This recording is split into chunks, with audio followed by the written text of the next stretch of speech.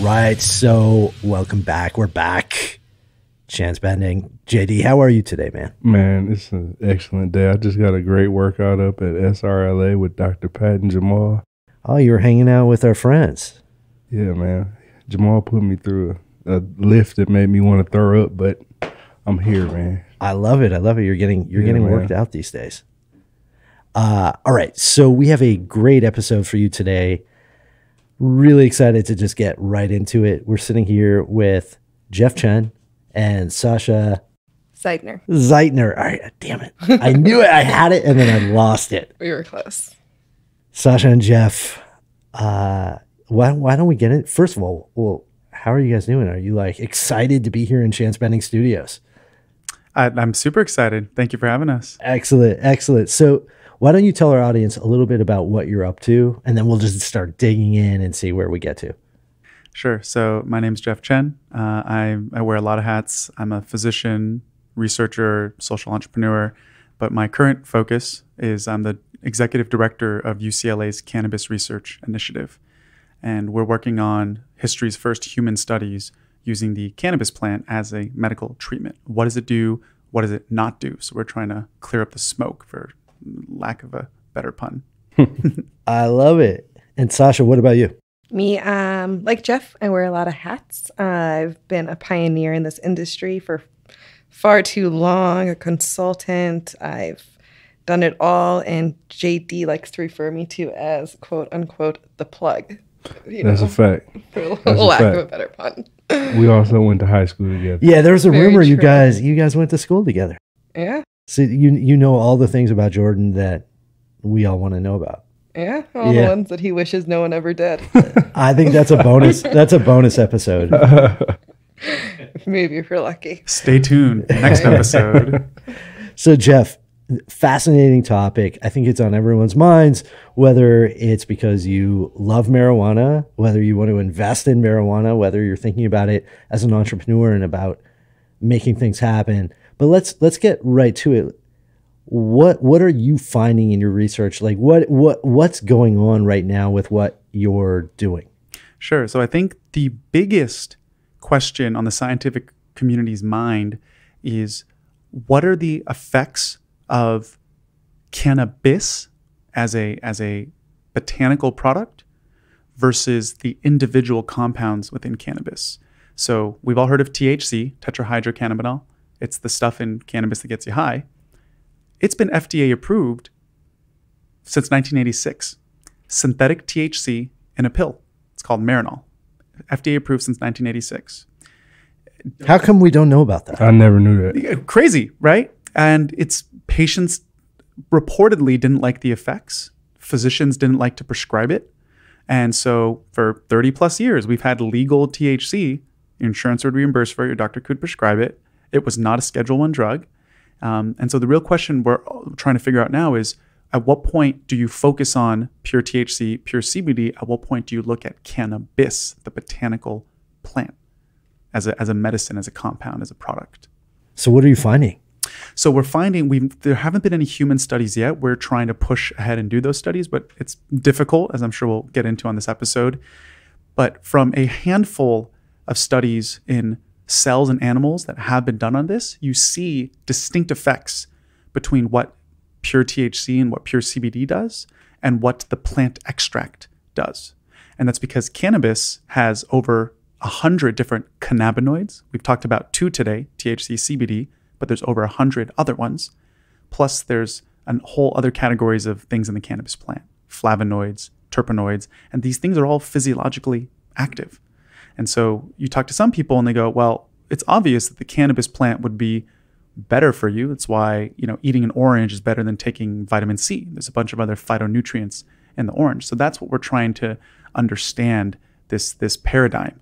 Um, and it's it's a complicated, messy paradigm that Western medicine isn't really used to, right? We like to deal with pure compounds, sin- single individual pure compounds. The idea of a messy, complex botanical, it's it's not really part of the Western medicine paradigm.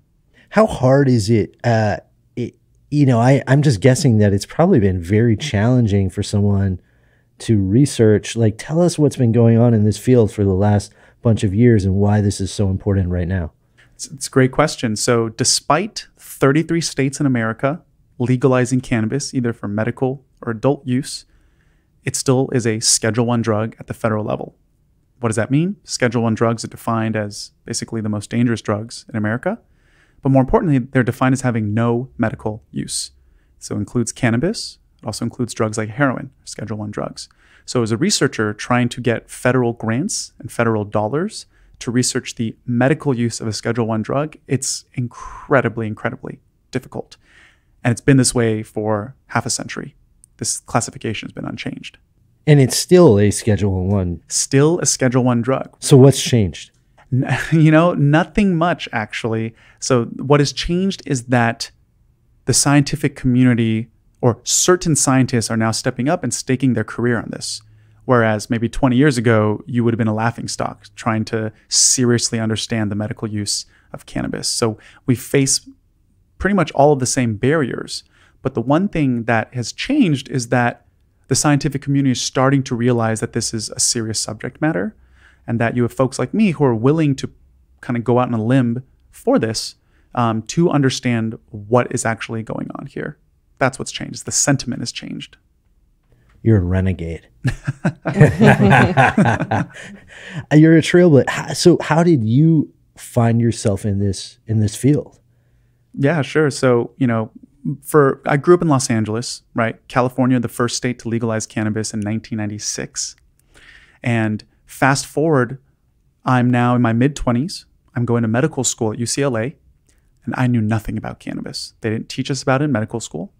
And despite someone having grown up in California, which again, the first state to legalize it, I knew nothing about cannabis. And if you asked me about the medical use about four and a half years ago, I would have said, eh, maybe it helps with nausea and weight gain, but everything else is BS. That's how ignorant I was. Even four years ago. Even four years For ago. For you. For me, in medical Yeah. school at UCLA, having grown up in California my whole life. And so one of my patients, when I was on my pediatrics rotation, was a little girl that suffered from a devastating seizure disorder, a very rare seizure disorder that happens very early in life. And you know, each seizure is toxic to your brain, toxic to your body, right? This is she's not learning how to walk, she's not learning how to talk. This is bad. Prognosis is very bad. And so we're out of options, and the family starts asking us about cannabis uh, because they had learned that historically, for hundreds of years, maybe even thousands of years, civilizations had described how cannabis seemed to help with seizures. And we, we basically think they're crazy. We warn them that, you know, if you do this, we're going to call Child Protective Services. They might take your kid away. Do not do this. Well, lo and behold, they do it. They come back and they say, look, at least she's not getting high. We got her a cannabis product that's high in something called CBD. I'm like, what? We have no idea what you're talking about. What is this? what? what? what are you talking about? And uh, but to our amazement, it seemed to work, and it seemed to work very well in this one case. So my mind was really opened up. The other doctors that were part of the treatment team, they got very curious as well. And so I learned that there was something in cannabis other than THC. I learned that CBD was not psychoactive. And I learned that those were just two of, again, over a hundred other cannabinoids in the plant that we knew nothing about, that had never been officially studied. And so thus kind of began my journey towards really wanting to apply modern science to cannabis for the first time ever. As a, uh, you strike me as a very smart young person. You, did uh, On a, on a good day.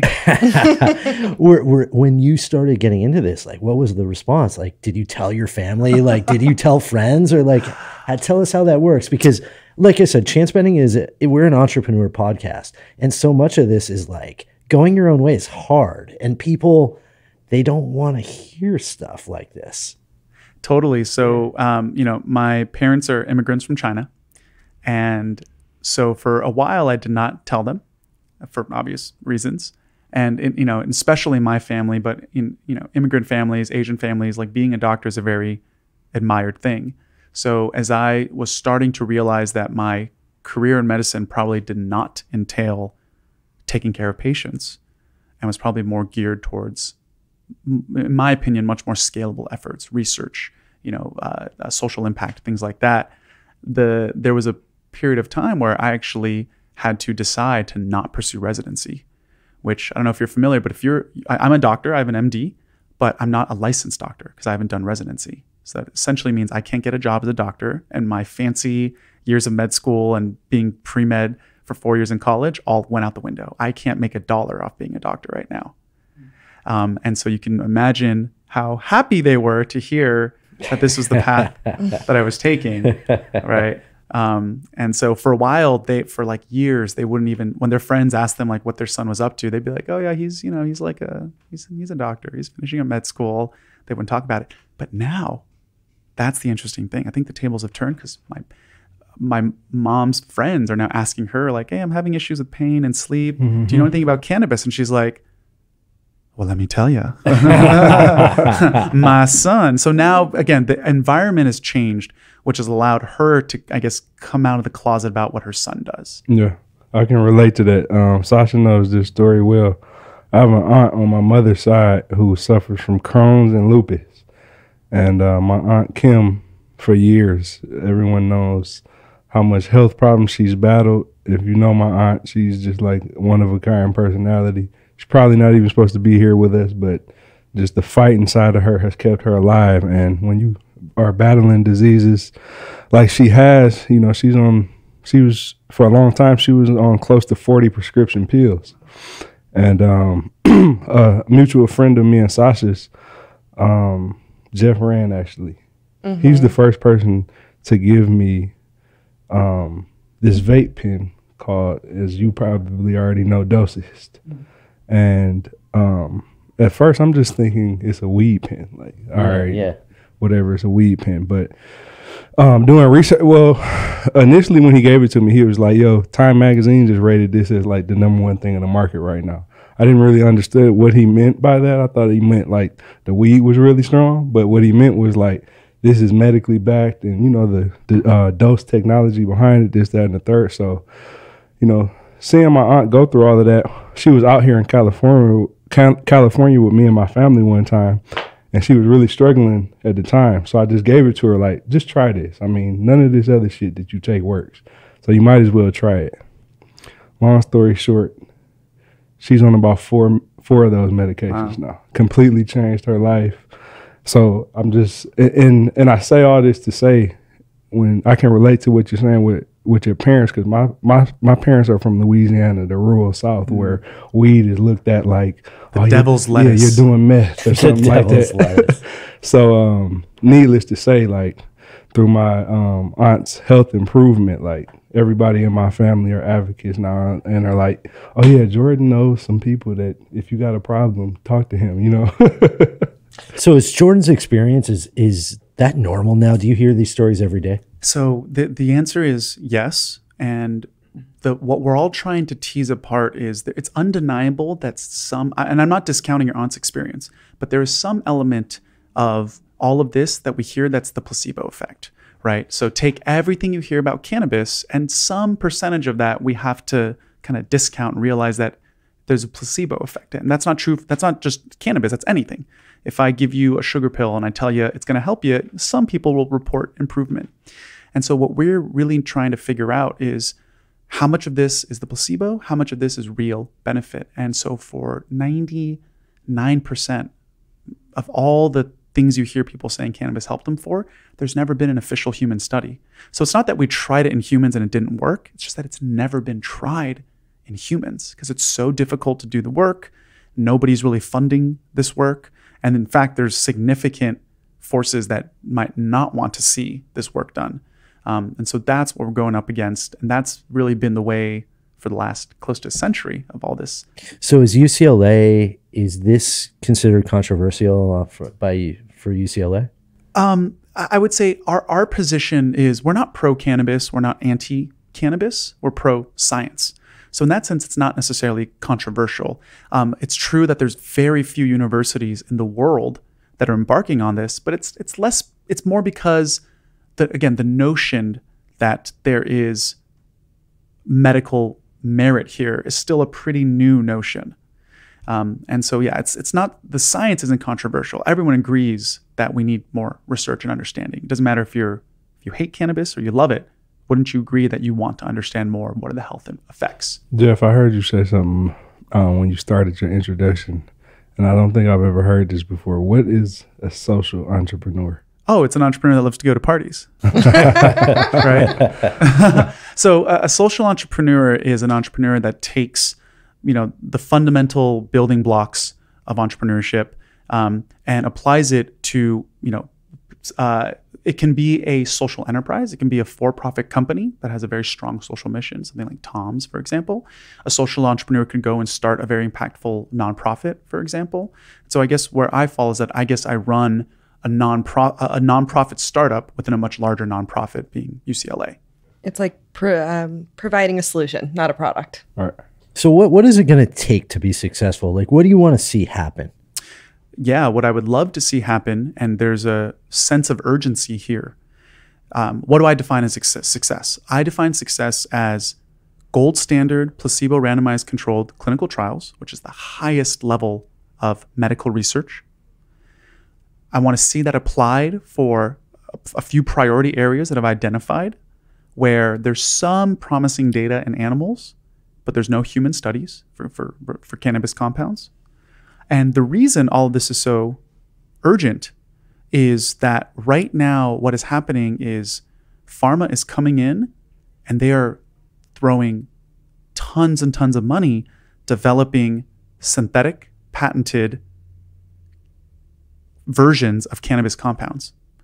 Um, and what I fear might happen is we might go back to the Marinol model, right? THC has been legal since 1986 and we and we produce all these drugs that may not be as effective or may be very expensive. So, for example, a drug called Epidiolex was just approved this summer. It's basically pure CBD. That drug's thirty-five thousand dollars a year. It's also backed by Ma, bought by Monsanto, the mm-hmm. people who bought Monsanto. So, wow, wow. So that so so the danger is real. Like sometimes I hear these stories and I don't know what to believe and what not to believe. But what you're saying is that big pharma is coming in, and yet we don't fully understand the implications of the decisions they're making. And there's a history of risk financially that we we know what they're like. We know they're not always up to making us feel better. is that is that fair, Sasha? Is that is that the way you would describe it? I would say with what you know we're seeing with the opiate epidemic in Colorado, where Colorado has had legal marijuana since or legalized recreational marijuana since I would I would there 2012. I want to say if I'm accurate, and you know in that time period we've seen significant significant drops in opioid opioid deaths and all those related. Um, no car crashes, nothing crazy, no deaths, no suicides, but just a huge drastic decrease in addiction to opiates and a huge drastic and now you're coming out with all of these stories of doctors colluding to push opiates on people and to r- drive up you know health insurance and medical. And i jordan i know this hit, hits closer to home for us but there are just a few doctors from bloomfield hills michigan the other day that were indicted on you know charges for illegally pushing you know pharmaceuticals and opiates on on their patients sasha I need you to unlock some of your gems for the audience, man. like it's no stretch of the imagination when she says she's a pioneer when it comes to being an entrepreneur of the weed game. Like going into go into a little bit of your background about those Boulder days, how you were in oh. the trenches. Oh God, I uh, 18 years old, 2009. Few months after the Ogden Memorandum was lifted, and tell was, people what that is. The Ogden Memorandum was the piece of legislature that was only allowing a certain amount of caregivers to care for a certain amount of plants or, you know, patients to sign over their plants to that caregiver.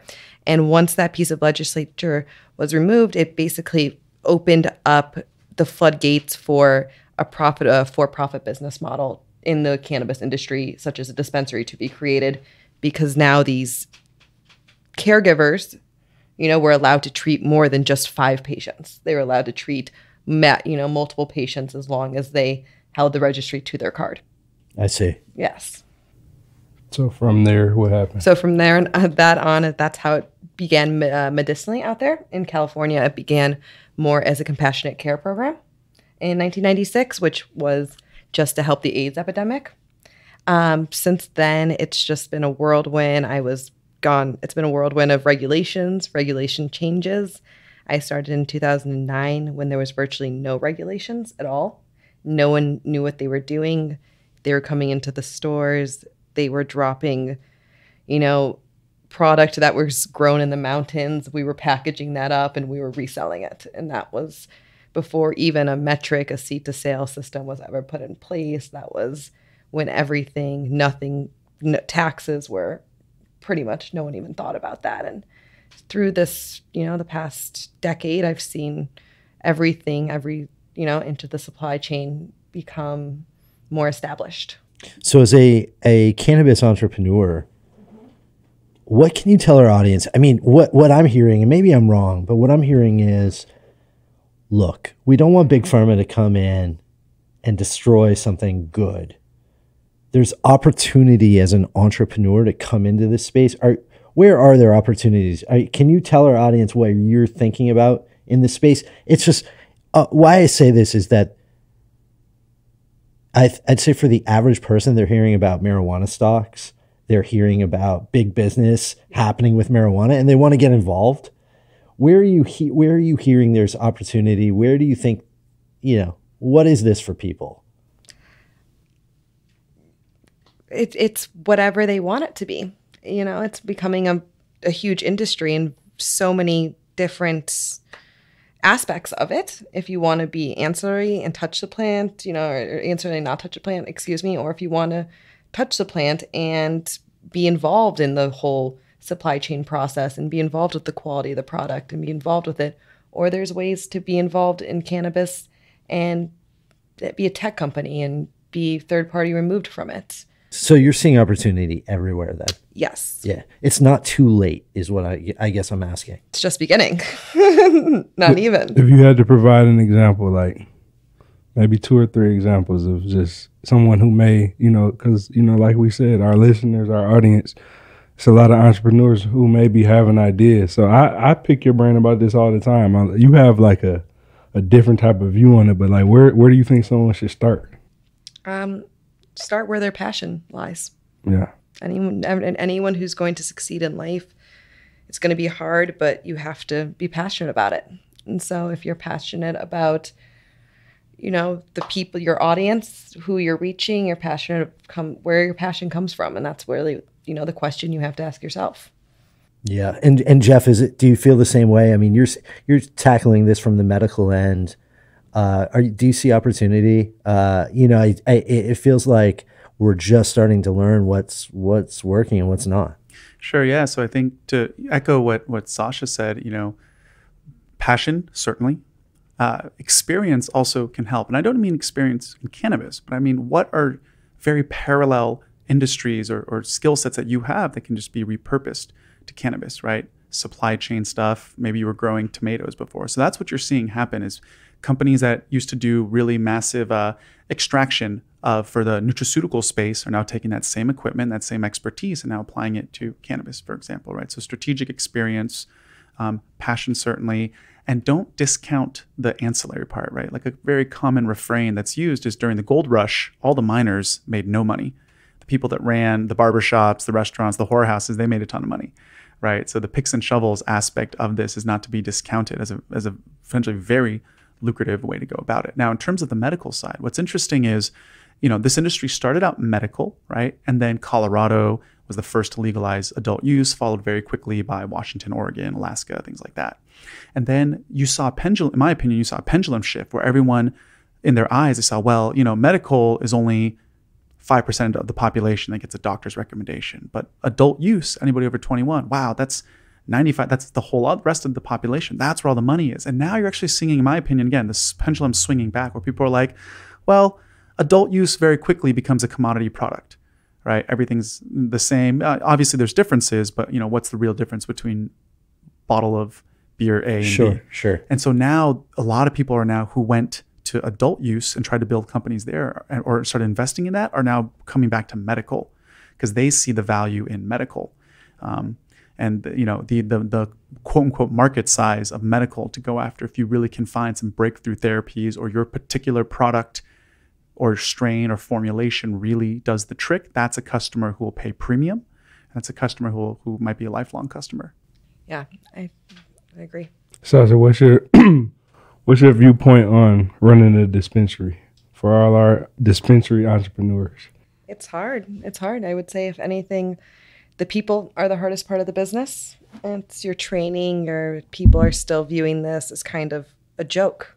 It's not viewed as if you were going into a nine to five sort of office and working at a computer all day. It's you're sitting there slanging. It still has that feeling. I Yeah, think you're right. Like I, as much as I tried, like I respect everything, it still slightly has that feeling. I yeah, agree. and bud tenders, they're not, you know, they're not being paid enough money to really do that, and they're higher. You're getting more, you know, people who have been so associated with this product their whole life because they're more knowledgeable, and but at the same time, they're also have those stoner connotations with them. They're not there very much to sort of they, they're more to the sell the product than they are to educate and really learn and to really dive in and see the beauties of it. if we change the name, do you think that might help from bud tender to something different?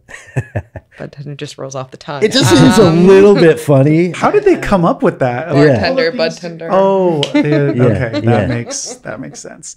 But the, the unfortunate thing is, again, at least in California, there's no standardized training for the bud tenders. Yeah. So t- for the audience members out there, do not ask your bud tender what they recommend for your back or for sleep or for XYZ because frankly they're kind of they're not they're not really drawing from any solid standardized curriculum or, ed- or education or knowledge. So bud tender school, there's hmm. there's an opportunity. There is. And if you can and if you can maybe work here's another idea. Work with the state, make the state mandate mandatory training for bud tenders, and then have your program be one of a handful certified that all bud tenders have to go through. We actually did a very unofficial experiment where some of our uh, undergraduate volunteers they went to dispensaries and they basically said, "I'm pregnant. I have nausea. What do you recommend?" And the bud tenders just not a single bud tender said, "Well, if you're pregnant, maybe you should think about not using cannabis." because there's some data that shows that cannabis use during pregnancy is not can be not the greatest for the baby. You can have lower birth weight in the offspring. Not a single bud tender objected, right? So th- those are things that you might want to build into a curriculum. And again, if you can get a deal with the state where you're one of a few accredited programs, that's a lot of revenue. Yeah, of course. And I think, uh, you know, a big aspect of it too is the safety aspect of this business and the fact that it's still all cash. So you're basically operating an all cash brick and mortar with people who are getting paid, you know, bottom close to minimum wage and really aren't all there. yeah, yeah, no, that makes a makes a ton of a sense. so that's a it's a big hurdle. It's a, it's a hard aspect of it. Um, interesting. We talk about this sometimes too, Sasha. Combining Ben's world and your world. Um, I'm gonna be very interested to see where the marijuana industry goes as it um, pertains to marketing and social media. Because I know a lot of times you have to be so careful with it. Like you'll get your page shut down. You can't mm-hmm. just be open with it. Like think about from a content perspective. Yeah. A guy like you, if a big time marijuana company came to you and wanted you to blow them up online, that would be a challenge right now. Like And that kind of goes back to, you know, what Jeff and I were saying with skill sets being applied across all if you're, you know, if you have a great sales skill set, you can apply that across multi magnitude of, of industries. However, with cannabis, it is still so state by state operated that, you know, advertising in California looks a lot different than advertising in Colorado Right. it's and it's very much a big the police you know there's so many different variables that go into the reason that is why That's a great point. So there's like federal regulations around how you can advertise, right? So you can't regulate, you can FTC and FCC regulations, radio broadcasts, right? You can't advertise via that. Then there's your state's particular bans on advertisements. Um, and then there's like companies who just have their own rules. So like Facebook, Instagram, they kind of have their own internal policy that are aligned with federal policy about taking down pages that are trying to promote cannabis brands. It seems like one way that brands are getting around this is through CBD sort of sales and knowledge and stuff like that. Like, how does someone like I? I probably fit more into this category. How if I want to try CBD, but I, there's so much stuff going on. Like, what should I believe? What should I not believe in this space? And I know that's not easy to answer, but I feel like there's so many people out there that are like, I want to try CBD. I understand nothing's been substantiated. How do they even think about that right now? Um, I would say their best bet to find, and I was just reading an article about this this morning too, with the whole hemp bill being passed yesterday or the being written in, and all of the amazing things and progress we're making on that front.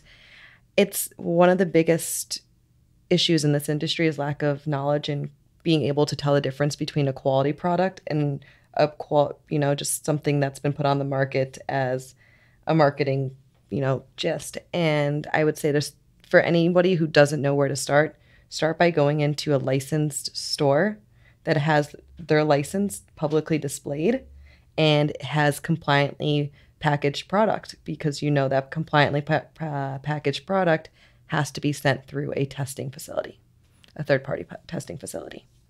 Whereas anything else you buy online or in a non cannabis dispensary, right? Grocery stores sell CBD. You'll find gas stations that sell it. None of that's regulated. Um, it could have no CBD in there. It could have 10 times as much as it advertises. It could have contaminants in there. So it's tough. Um, and you're right, because the margins are so high, man. CBD, these CBD products are expensive.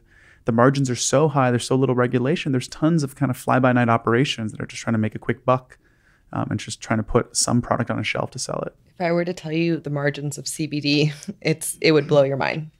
It would from what it takes to produce it to what they sell it for in Erewhon's is just you you would be signed you'd be sold. yeah, wow. So so with CBD, if someone should look for is there a something on the bottle that they can look at like if or is it not no they have to go to a licensed store. I think this is, a, I just want to emphasize this because I think it's really important. Half the audience is probably listening saying, I'm curious, but I don't, I don't, I don't, I hate that feeling of like being ripped off or not knowing what you're putting in your body. That's all. Every single coffee store I walk into, I ask them to see the bottle of CBD and I never take it because half the time I'll be like, oh, where do you supply this from? And they'd be like, we get it from China.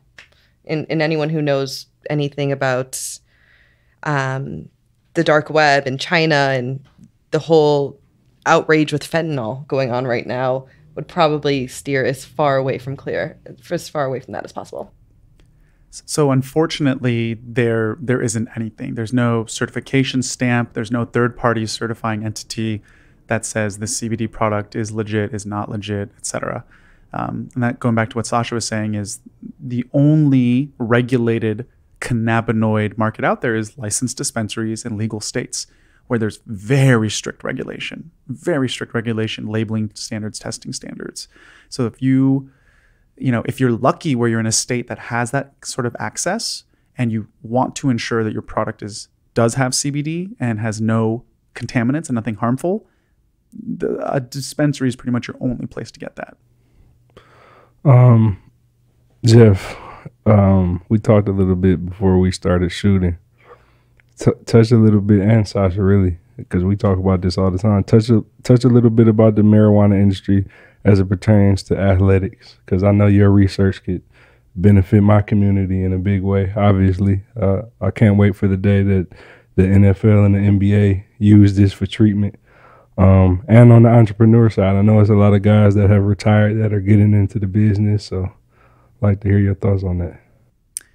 Yeah, so where this really hit home for me, well, and again, I was I was ignorant to this. Um, it was actually a UCLA alumni, uh, Matt Barnes, who went on to have a very successful NBA career. Um, we got connected about a year ago, and he helped me understand that it is incredibly prevalent cannabis use amongst professional athletes. It is incredibly prevalent during the active season. That's a fact tons of yeah right? Like it like it sounded crazy right? Tons of athletes are being penalized fined for it all this stuff. And that was when i first was aware that this was such a massive uh, this was happening so frequently. And what he was saying and the other thing he made me realize was that like athletes are you know imagine an athlete on tour or on the road right? You fly into one place you got two hours of sleep, then you got to be up the next morning, start training, get ready for the game the next day. Then you're back on the road again. You're away from your family. You're trying to sleep. You're trying to wake up. You're in pain. You just got injured. All these things.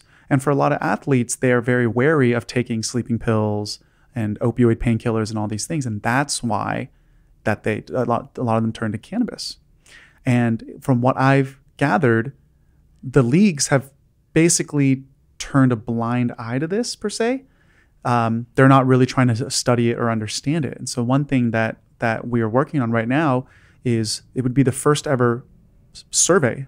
Let's start simple. It would be the first ever survey uh, of NBA players to understand, who, you know, how much cannabis are they using, why are they using cannabis, et cetera, et cetera. Um, and I think we'll, we would all be very surprised at how high the numbers, no pun intended, how high the numbers come back.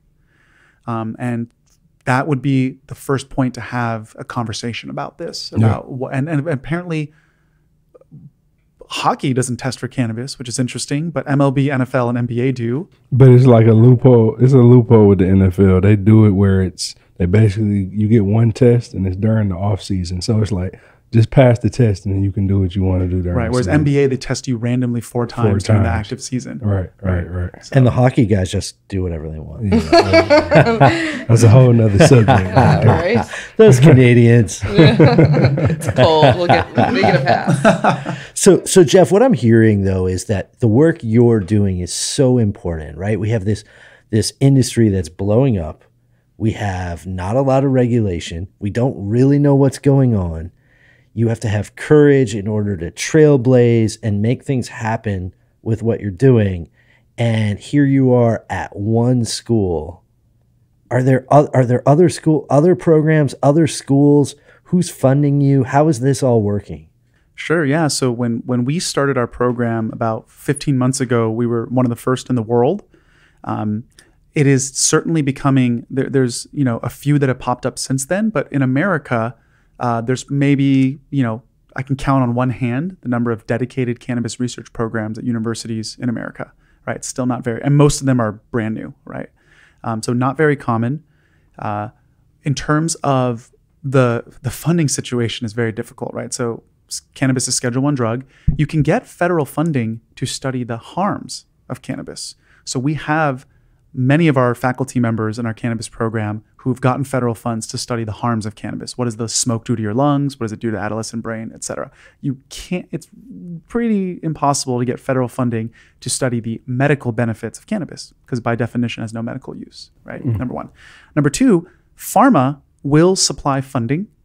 And we are, again, several of our faculty members are running clinical studies for pharma, but they want when they give you money, they want to study, they want you to study their synthetic, patented versions of what's in the cannabis plant. And it's pure individual compounds.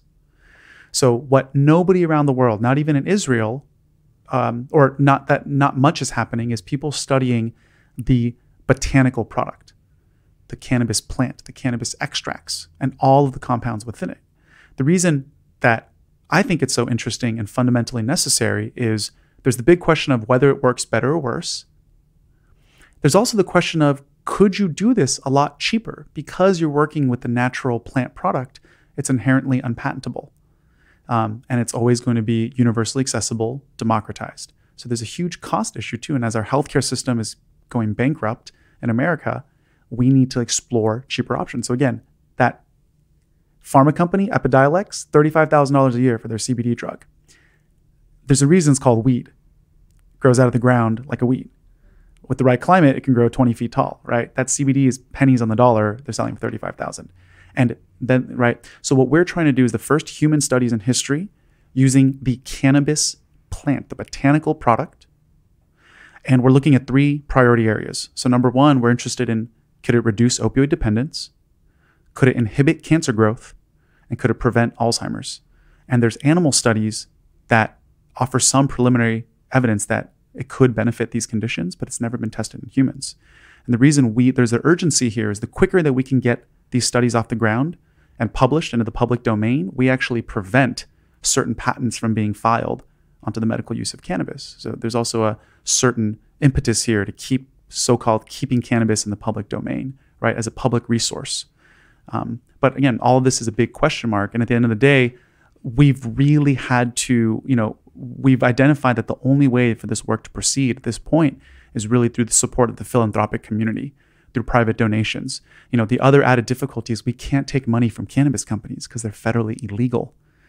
so you knock out federal grants, you knock out pharma, you knock out cannabis companies, we're pretty much left with private donors that, that feel compelled enough to support this work. And so that's been a struggle too, is finding people who care enough about this, who see and understand the urgency and the importance of this work. And the potential. Yeah, I mean, it's it sounds like you are truly trailblazing, and it's very, very important work, right? We have so many things going on in this space, and not enough you. So we have to figure out how to get this done. What's the timeline on what you're doing? How do people, if they want to get involved, if they want to learn more about what you're doing, like what, how how does this all look? Like, what does 2019 look like for you guys right now? Yeah, sure. So we started about two months ago. We started an end of year fundraising campaign, and we, our goal was to raise a million dollars by the end of the year, and we just hit uh, seven about seven hundred forty thousand dollars. So we got about Congratulations! Thank you. Yeah. So we got about a quarter million to go before the before Christmas. So we got about you know. Uh, uh, we're not, we don't have that much time, but we're, we're going for it. What do we want to use the funds for? So the whole idea here is that we need to show some pilot data. So in research, the way it works is you, you do a pilot study. If the results look good, you secure some more money and you do a much bigger follow-up study. It's the same way with a startup. You give a little bit of seed grants, entrepreneurs able to execute successfully. Now you there's a series A, let's drop 20 million bucks in them so they can execute further. What we need to do is just show do some pilot studies in humans in those three areas that I just mentioned opioid dependence, inhibiting cancer growth, preventing Alzheimer's. Um, if the results look good, then we can dramatically expand the scope of the study and we can start going to the major foundations, mm, uh, the, you know, the Gates foundations, things like that. That if you show them the preliminary data in humans, they'll give you the much bigger checks that you need to do the full study. So each one of these studies is multi millions of dollars. We're raising the first million to just get some pilot work started in those three areas. It's not going to be the end all be all, but it's the it's the first step to kind of jumpstart this work. And we have another or I have another project on the side where hopefully will be a place that we can help facilitate some of these some of this to happen. Opening hopefully Q1 of, of 2019. Well, uh, you know, I have to say, I'm just so impressed because it would be a million times easier to just become a regular doctor somewhere, right, with some HMO. It would be a million times easier not to pave the road for for so many interesting entrepreneurs like you. Like it, it's it's crazy to me, and I think that it's a shining example of what chance bending is all about. And I really mean that, which is you are figuring out your own path and you're helping other people, right? Like entrepreneuring the, is the art of giving. Actually, it, you're, you're you're providing value, which is giving, and I feel like you're giving to everybody right now and it's not easy when it goes down. It's so easy to talk about entrepreneuring and to be like, yeah, rah, rah. But actually, when you're doing it, people just don't want to pay attention. They don't like what you're doing. And I'm just impressed. You have a lot of cool stuff going on. Thank you. Yeah. And I think what people don't realize is how freaking hard entrepreneurship is. It's like getting kicked in the face every single day. Going, waking, like waking up at four in the morning with just that pit in your like gut that you know and you're staring at the ceiling for hours wondering what the hell you're actually doing right? Um, and i guess the way that i've kind of coped with that is at a certain point you have to god this is such, I, I feel like such so lame for saying this. You have to surrender. You have to surrender that surrender to there the is flow. a there is a greater force behind all this and so that if something doesn't work out your way, you kind of have to be like, oh, that's cool. I mean, that that was meant to happen. That there's that road was supposed to be cut off there, so that I can make a turn and go down this real path. And that's how, through all the ups and downs, I, I get less and less disturbed over time because I'm realizing that I don't really have control over the flow. I'm floating down a river, right? And that river's pushing me along, and the river has a current, and the river has bends in it. And so when I, you know, uh, uh, get to I get a lot more inner peace understanding that, and it's able to help me cope with all the uncertainty and all that, all of that. And I didn't mention this before. I do. I'm very avid yoga Ayurvedic pr- practitioner, which is why I see you know so much potential in plants because plant Ayurveda is pretty much plant medicine, and I've cured my whole every sickness I've had my whole life with purely only standard process supplements and things, you know, difference like that. And it's it's a beautiful thing. There's so much there's so much to be learned and knowing and part of that is, you know, recognizing that when something goes wrong, it's not because it was meant to go wrong, it's because something bigger is and better is about to happen. Wow. Poetic. Poetic. Thank you guys. Thank you for coming today. This was was really really a good one. What um where can people like contact Oh, you know? Great question. So, um, if they're interested in making an, an, an end of year charitable gift, uh, they can go to our website, uh, giving.ucla.edu slash cannabis research. Um, all the funds that you give go to UCLA, they're tax deductible, and then they're earmarked for use by our program.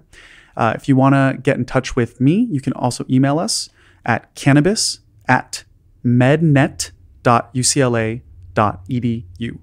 And you can also visit our website too. If you just Google UCLA cannabis, you'll find our website. Great. And and anything you want to promote? I, you know, I'm here. I'm happy to connect. Any any Instagram we should know? Mm, you know, nothing, Nothing. that I I like to stay off, you know, no paper You're trail. too busy working. No no paper trail I find is better sometimes. the, the the chance bending community will get to know Sasha. She'll, she'll be back. Yeah, we'd love to have you back. We want to stay in touch and better understand what's going on. I feel like uh, in 2019, I, I'm just excited to hear what what happens with with what you're doing. Right? It's it, it really is important. And the final thing that I want to say, you brought up Ayurvedic medicine, which I think is really interesting. Um, I think there's something at stake here, which is much more than just cannabis. I think cannabis is just going to be the first test case of people looking at a botanical product very seriously and putting serious science into a botanical product. Um, and that paves the way for us to also take more seriously whether it's everything from whole foods to other plant based medicines, botanical products, and cannabis really being kind of the, again, lack of a better word, the gateway herb into this paradigm shift of what can we do when we're not being super derivative. Um, and we kind of learn from what actually already exists in nature. Might be that thing that makes people, you know, look check the back of their what they're buying from their grocery store twice. Who would do that? exactly. you know, come on. Uh, Jeff, we didn't really get to touch on it, but um, at some point in the next few months, we gotta we gotta do this again and put the athletic touch on. it. I want to get a few of my friends. We gotta have like a full blown athlete A world forum, talk. an yeah, athlete forum. Yeah. I'd love to. when it pertains to that that beautiful plant that you're studying, man. Uh, great, great. Well, thank you guys for coming by. Uh, really appreciate it. So we'll we'll talk to you soon. Great. Thank you, Thank you, Ben. Ben. Thank you, Jordan. Appreciate it. Thanks.